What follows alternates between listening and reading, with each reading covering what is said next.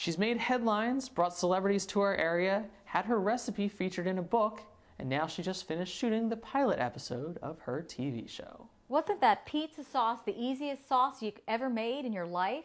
Lisa Montgomery may look just like the average woman, but there's a lot beneath that average look. Lisa believes in not only eating healthy, but living a healthy lifestyle all around. 13 years ago, I changed my diet because I had food allergies and candida.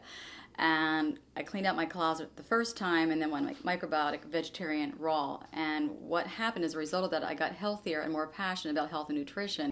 Lisa's TV show, Living Dynamically, has been submitted to many television networks, and her and her production crew are awaiting word to see if the show will get picked up. But wait, where did this TV show idea come from?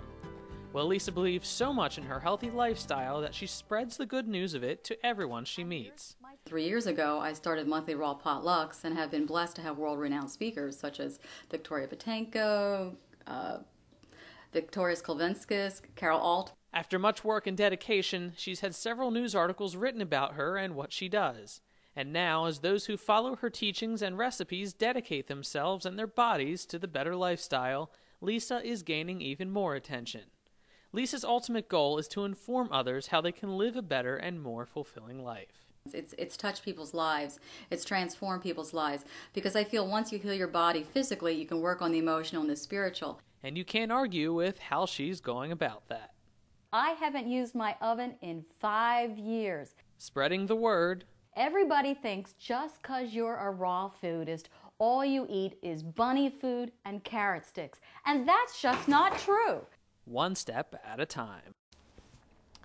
Now, Lisa's program isn't currently on the air, but she's just at the beginning of a long trail of submissions and paperwork. We'll be sure to keep you updated about her programs and where they will be playing in the future.